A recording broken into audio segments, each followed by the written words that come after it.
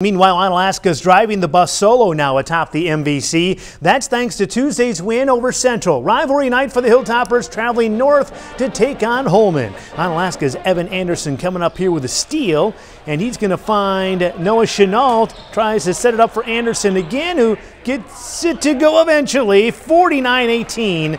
Onalaska. Now, Isaac Skemp taking it down, finding Anderson for three. He'd have 34 points on the night. Now, Holmen trying to work their way back into it. Peyton Seacamp, a three ball there. He had a big night tonight, but here comes Onalaska. It's Anderson again around the corner, and then the two fisted rim rattler. Onalaska wins it 77 59 the final.